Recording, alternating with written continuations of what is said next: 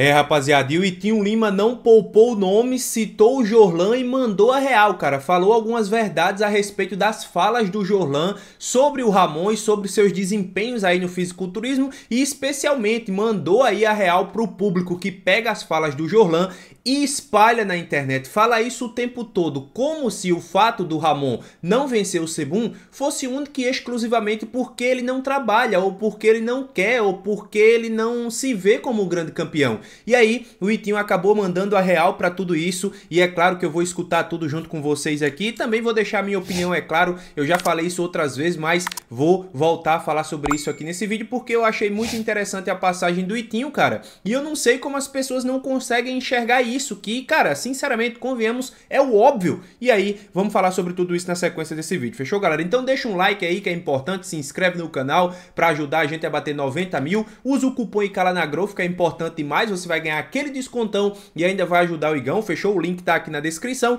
Deixar um salve aí para todo o pessoal do Monstercast, né? O Ed, o Superman, o Gordex. Salve também pro Matheus Menegato e pro Itinho, que foram os participantes da vez. Vou deixar meu like aqui, ó, já tô inscrito no canal. E, galera, vamos escutar aqui. Conforme for passando, eu vou pausando e vou conversando com vocês, fechou? Bora! Eu gravei um vídeo esses dias que eu não postei porque eu falei, mano, isso aqui eu só vou tomar hate, eu tô putaço mesmo. Porque os caras querem decidir se o cara vai morar aqui, se é. o cara vai morar lá. Se pode sair, se não pode é. sair. Se treinar fofo, se não treinar fofo. E eu vou falar um bagulho Porra. aqui que eu tô cagando pra hate. Se a essência fizesse shape, cadê vocês, porra?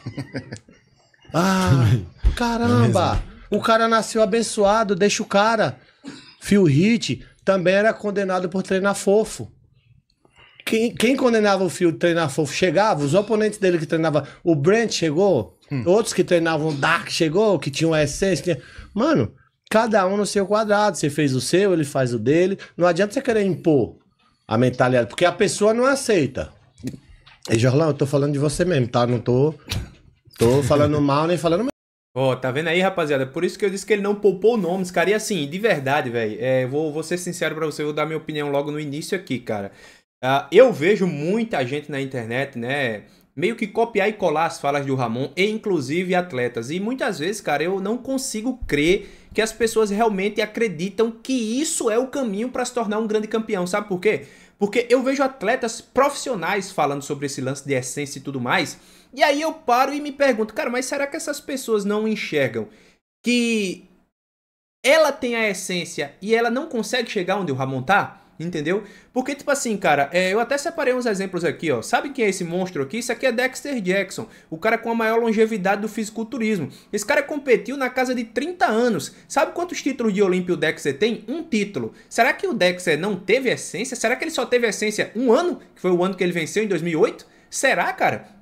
Então, por que, que eu tô citando isso aqui? Porque, velho, é, a gente teve aí diversos atletas que reinaram ao longo de vários anos. É o caso do Jay Cutler, é o caso do Ronnie Coleman, é o caso do Phil, do Dorian, do Lee Haney. Então, assim, será que todo mundo que perdia para esses caras não tinham vontade de chegar onde esses caras estavam e que eles eram limitados devido justamente a essa essência? Não, cara. Por quê? Porque fisiculturismo é puramente genético muitas vezes mais voltado para a estrutura, como é o caso da Classic com o Sebum, por quê? Porque os formatos musculares do Ramon são mais redondos, mais cheios, para muitas pessoas mais bonitos, mas a estrutura do Sebum, conforme ele espalha os músculos ali naquela estrutura, é muito melhor aceito na Classic, e às vezes é porque o cara é melhor em ser grande, em ser seco, em suportar a pancada da preparação e tudo, como é o caso do Ronnie Coleman, entendeu? Então assim, não é falta de essência que faz o Ramon perder, é porque ele enfrenta um cara que no seu 100% é melhor do que ele. E tá tudo certo, cara. Não tem problema nenhum nisso. Porque não é demérito do Ramon perder pro Sebum. Cara, imagina você. Se coloca no lugar do Ramon.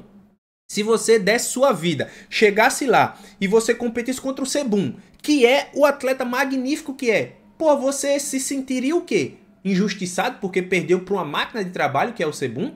E eu vou dar um exemplo melhor. Essência por essência, por que, que o Nick Walker não venceu o Olympia ainda? Será que o Nick Walker não tem essência?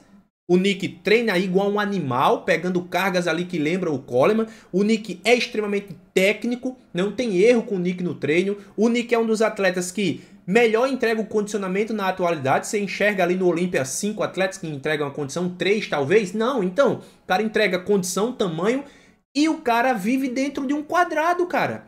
Ele é aquilo ali, ó, é a mesma coisa todo santo dia. Ele já falou, fisiculturismo é isso, você tem que ter coração para fazer isso aí.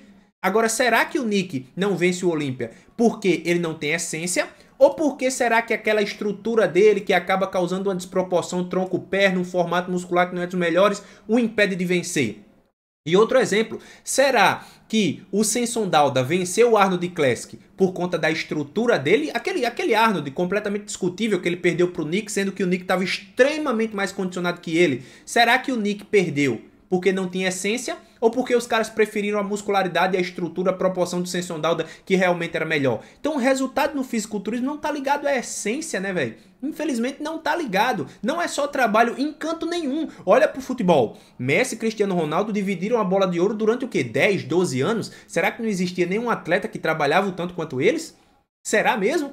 Phil Heath reinou durante sete anos. Será que ninguém quis vencer o título do Phil? Será que Sean? Será que Kai? Será que Dennis Wolf? Será que toda essa galera que buscava seus títulos no Olímpia, em qualquer que seja das épocas, faltava essência para vencer? Não, cara, é porque o Mr. Olímpia, quem vence uma categoria do Olímpia, é um grupo seleto de atletas. É por isso que a gente olha pro Olímpia que vai para 60 anos e a gente não tem 60 campeões, pô. Não é porque falta essência, é porque realmente tem cara que nasceu para isso, que trabalha, que às vezes tem uma estrutura melhor, que às vezes tem uma, um, uma, uma é, digamos que um osso melhor para distribuir aquela quantidade de massa e tá tudo certo, velho.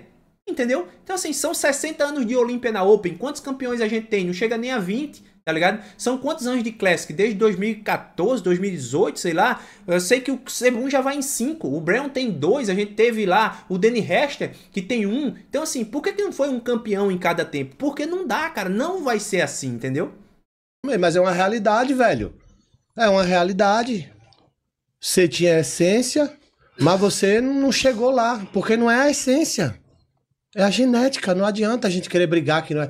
Pode ser. Ó, e mais um detalhe aqui, tá? Sobre o Jorlan. Cara, o Jorlan, ele recebeu um, um comentário do Dennis James que poucos atletas no mundo receberam esse comentário. O Dennis James olhou assim e disse: Cara, aquele baixinho insano lá da Ilha do Governador no Rio, se você botar na preparação dele para ele comer areia, ele vai comer. Ou seja, o Jorlan era aquele cara disposto a fazer tudo, cara. E ele conquistou muita coisa na vida dele, muita coisa. Ele não chegou a brigar no topo do Olímpia ali e tudo mais, porque talvez o investimento para ele veio quando já era muito tarde. Mas o Jorlan era o cara que, cara, o que ele tinha para fazer, ele fazia e recebeu um elogio que poucos atletas no mundo recebem, entendeu? Mas assim, ainda não foi suficiente à época. Hoje em dia, a gente também conhece atletas assim.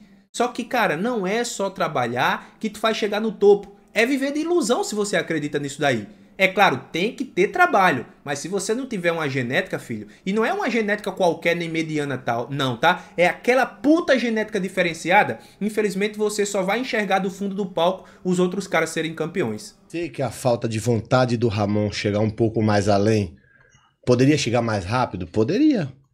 Mas se isso de treinar assim ou de treinar assado fizesse diferença, o Dorian tinha que treinar igual o Coleman, que tinha que treinar igual o Jake, tinha que treinar igual. Cada um tem uma metodologia diferente. E detalhe, tá, galera? E detalhe, essa, questão da falta de vontade do Ramon. A gente não tem o que reclamar do Ramon, cara, porque olha só. Milos Sasev, um cara que competiu na época de ouro do fisiculturismo. Milos olhou pro Ramon e disse: Puta merda, velho. Aquele moleque do Brasil ali entrega uma condição que poucas vezes eu vi os caras no mundo entregar essa condição. Aí você vai me dizer que o Ramon não trabalha, né? Assim, o Ramon venceu a pose de duplo bíceps de costa do Sebum, que é o unicórnio da Classic. Será que faltou essência para o Sebum nas costas? Ou será que sobrou essência para o Ramon nas costas? Entendeu? Então, assim, essa questão de velocidade e tudo tal, cara, beleza, você pode até questionar ali a velocidade, pá, mas o Ramon não perde para qualquer um, cara. O Ramon perde para o Sebum né? Um cara que é extremamente dominante desde que ele pegou o título do Olímpia. Talvez o título mais contestado dele seja o primeiro de lá para cá, o Sebum meio que faz parecer fácil, cara. Não é porque o Sebum tem mais essência do que os outros, não é porque é o Sebum. Junta a sua estrutura com a sua genética, com a sua vontade, dá no que dá. E às vezes os atletas não têm o que fazer. O Brown vai fazer o quê? O Huff ia fazer o quê? Os outros atletas iam fazer o quê? Não dá. Você pega o Dorian, o Rony e o e o Brent são três metodologias completamente diferentes. Uhum. Então eu acho que é deixar o Ramon fazer o trampinho dele numa boa, cometer um erro sim no Arnold Classic, que não dá para passar pano. Mas em... Ó, esse exemplo que o Itinho trouxe aí, ó, Brent Warren, né? Quem nunca assistiu para ir treinar um treino do Brent Warren, né, com o parceiro de treino dele lá, o Johnny Jackson. Os caras meio que eram, eu, eu até apelidei o Brent de trator, né? Era um trator no treino, cara. Eles só faltavam jogar os pesos na parede e o caramba. Quer mais essência do que isso? Quantos Olympia o Brent venceu? Pois é, cara, isso já responde.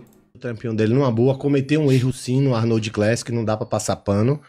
Mas em todo o resto, pô, ele, ele ganhou do duplo BCP de costa do Chris Bumstead no Olympia, que era o ponto chave do Chris Bumstead, entendeu? Uhum. Então é só deixar o moleque trabalhar, ele vai mas, fazer. Mas você entende, o, o, tinha que o Jordan, porra, deve passar na cabeça dele, pô, se eu tivesse a genética, se eu tivesse essa oportunidade, Sim, né? é pro bem do Ramon. E aí ele fala é... assim, porra, meu, se, sabe, tipo... Mas pega, por exemplo, ó, imagine só, se eu... Mas será que então, se, o, se o Ramon fosse bitolado, ele chegaria onde chegou? É, tem isso Eu também, duvido. né? É, porque é muito cortisol, muita paranoia. Ó, um exemplo, Ele ia abusar pra caralho também, porque ele já ele falou, pô, eu quero mais, eu vou abusar, então. um exemplo perfeito é o Horst. O Horst, a gente fala aqui com ele, ele fala assim, se, você, se eu vivesse como vocês queriam que eu vivesse, eu não ia aguentar, não ia, o esporte Pois não é. ia ser pra mim.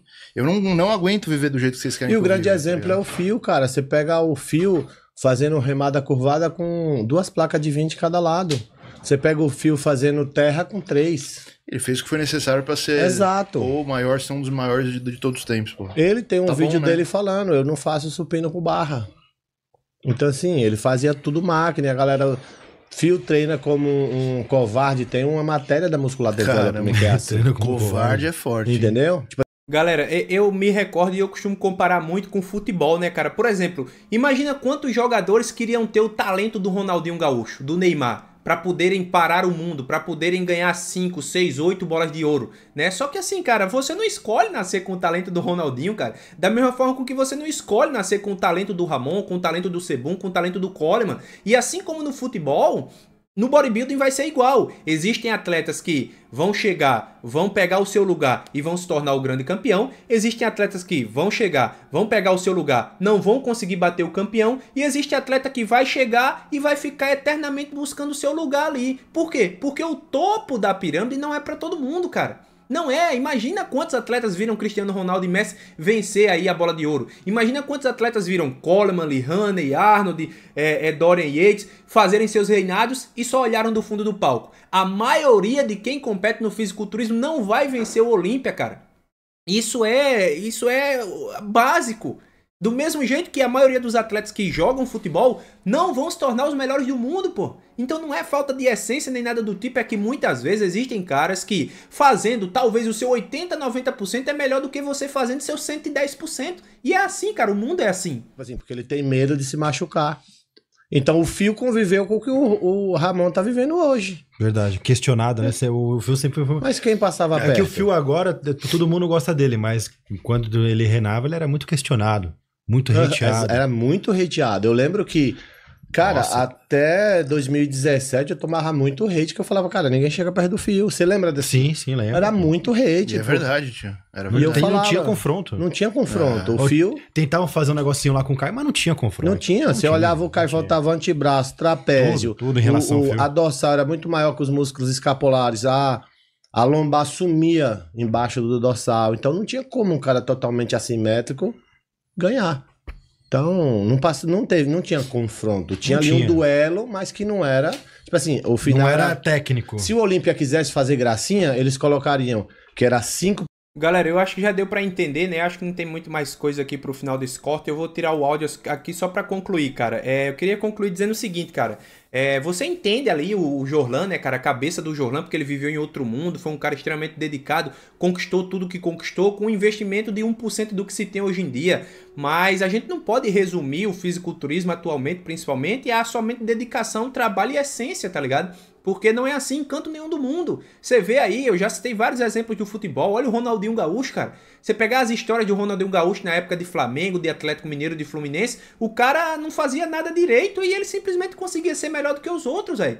E às vezes eu sinto que, principalmente atleta profissional aqui no Brasil, tem um rançozinho do Ramon ali, porque primeiro que eles não conseguem o resultado do Ramon, segundo que eles imaginam, né, na cabeça deles que o Ramon não trabalha, não se dedica o suficiente, e terceiro que eles veem o Ramon ser muito bem remunerado. Então a soma disso aqui faz com que os caras criem um ranço do Ramon. Recentemente, um cara me mandou mensagem no Instagram dizendo que eu parasse de gravar vídeo sobre o Ramon porque ele não vai vencer o Sebum. Aí eu disse pra ele, cara, eu gravar sobre o Ramon, não, não faz diferença nenhuma no resultado, cara. Tá maluco. Então, olha o nível de incômodo do cara. O cara ficou incomodado porque eu gravo vídeo sobre o Ramon e o Ramon nunca vai vencer o Sebum. Porra, aí é brincadeira, né? Eu vejo atletas comentando, falta vontade, o caramba. Cara, olha o nível de condição que o Ramon entrega no palco, velho. Olha de quem ele recebe elogio. Cris Aceta é o coach dele. Cris Aceta olhou pro Pacho e disse: Pacho, tu vai ver coisa no Ramon que tu nunca viu em nenhum outro atleta. E o Cris Aceta já foi campeão do Olímpia com Jay Cutler. Já foi campeão do Olímpia com Shaw Roden treinou o Rafael Brandão. Então, assim, cara, não é, não é essência, não é vontade, não é trabalho. É claro que tem que se ter trabalho, ninguém tá negando isso aqui. Mas você tem que ter uma genética privilegiada. E principalmente, cara, o topo ali da pirâmide não é para todo mundo. A maioria dos atletas que competem no fisiculturismo não vão se tornar Mr. Olímpia e sequer a maioria vai se tornar profissional. Então, calma, velho, calma com isso aí. O Olímpia tá chegando e eu tenho certeza que o Ramon vai apresentar um shape para que a gente entenda que o Arnold Classic Ohio foi somente um ponto fora da curva. Ele errou em passar dois meses parado, em se preparar em seis semanas. Errou. Eu acho que ele já reconheceu isso aí, sua equipe já reconheceu. O que é que eles fizeram a partir daí? Vamos fazer uma preparação longa, vamos voltar com um shape melhor e mostrar que aquilo foi um ponto fora da curva. Foi um passo mal dado, foi um erro nosso, mas que vai ser ofuscado pelos nossos futuros resultados. E é assim, beleza, galera? Então é isso. É, deixar um salve aí pro Itinho, pro Menegatti, pro Ed, pro Super, pro Gordex, para todo mundo que faz o Monstercast. Deixem seus comentários, tamo junto e até o próximo vídeo. Valeu!